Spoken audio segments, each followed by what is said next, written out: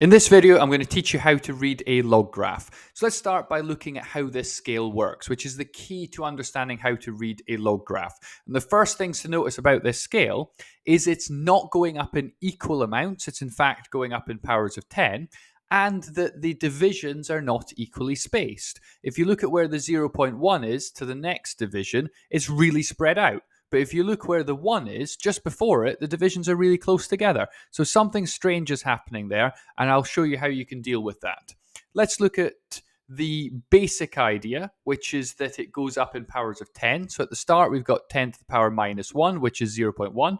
Then it's going 10 to the power 0, which is 1. Then 10 to the power 1, which is 10. 10 to the power 2, which is 100. Then it would, of course, go 10 to the power 3, which is 1,000. 10 to the power 4 is 10,000. So it's going up in powers of 10.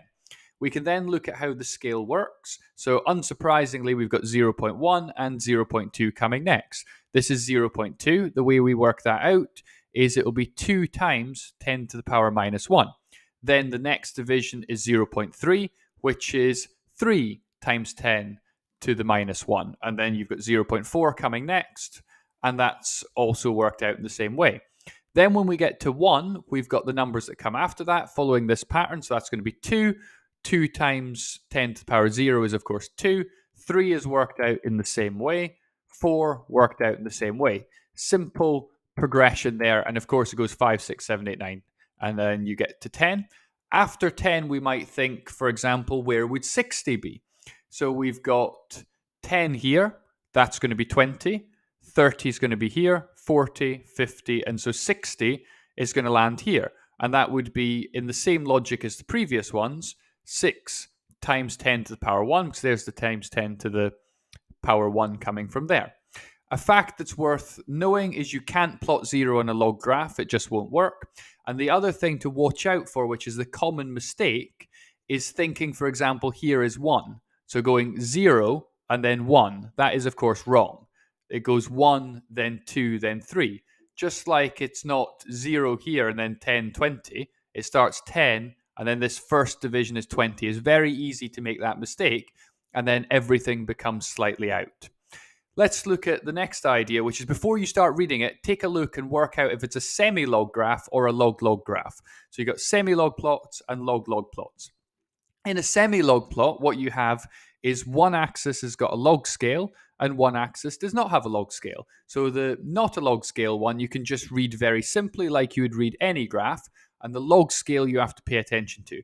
In a log-log plot, you've got to watch out for the fact that both axes are logarithmic and you have to be careful about reading those. And so you got a log scale and a log scale in the log-log plot, which is why we call it a log-log plot.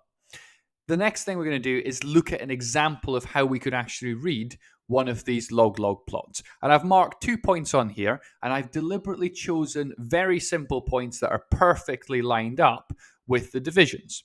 If they're not perfectly lined up, it's more complicated to take a reading. And I'm going to show you how you can deal with that in a second. So if we want to read this point, we draw, of course, a line down. One is here, two is therefore going to be there. Watch out for the fact that this is a 1 and not a 0, which means this has to be 2. The green line, it says here, is based on um, x squared. So we've got 2 squared is 4. So we're expecting a result of 4. We draw a line across here. There is 1, that's 2, 3, and that's 4. So unsurprisingly, that's 4. And so this is a point 2, 4. We could read this point in the same way. So we draw a line straight down. We've got 10, then 20, then 30. So that's going to be 30. We have got the line y equals x. So if this is 30, we expect the other side to be 30. So we draw a line across. There's 10, there's 20, there's 30. And so that's the point 30, 30. So we've read this simple log graph. But what if we had more awkward numbers? Let's imagine we had to deal with 2.4.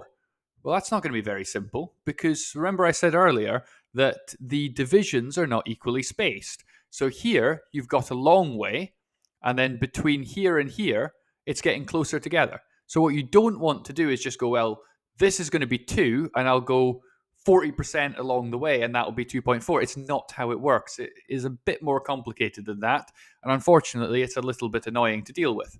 So I'm going to introduce this formula. It'll look quite complicated, but once you see it in action, it's not that bad. So the proportion is going to be equal to the log of the number you're interested in minus the log of what comes before, and that's the ones marked on the graph, the powers of 10. So if we're looking at 2.4, we're looking in this section here. So 10 to the power 0 is 1, that's what comes before, and then 10 to the power 1 is what comes after. And then we're finding the difference on the bottom there. So let's look at it in practice. So we're starting with the log of the number we're interested in, so log 2.4. Subtract the log before, so we're looking at this 10 to the power 0, which is 1. So subtract log of 1. Then the bit at the end of the section we're interested in is 10 to the power 1.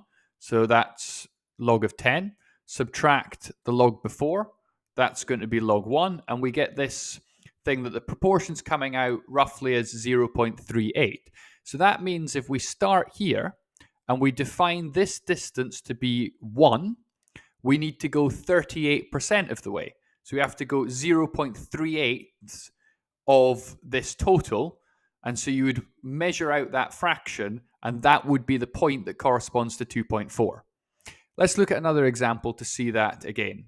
So, what about 624? And feel free to calculate this yourself and then check against my answer. So, we use the same formula. So, we're doing exactly the same thing, but we're interested in 624. 624 is obviously between 100 and 1000. So, 10 to the power 2 is where our 100 is. 10 to the power 3 is where our 1000 is. So we do the log of the number we're interested in, 624. Before we're looking at this 100, so we're subtracting log of 100. Then we're dividing it by log of 1000, which is our after. Subtracting our before, which is log of 100. Put that into a calculator and you get 0.795. We define this distance as 1, so you need to go 0.795 of that distance. So just less than 80% of the way, and mark that point, And that was where you would get 624 and you could read from there. So I hope this video was helpful to you and has cleared up how you can deal with reading these annoying log graphs. If it was helpful, please like and subscribe below. And finally, thank you very much for watching.